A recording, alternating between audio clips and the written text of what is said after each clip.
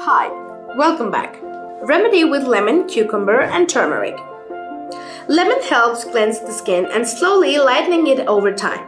The cooling properties along with antioxidants and silica present in cucumbers help rejuvenate the skin. Cucumber also reduces the water retention.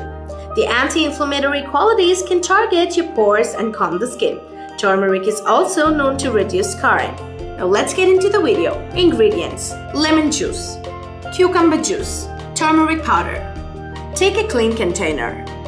Into this, add 2 tablespoons of lemon juice.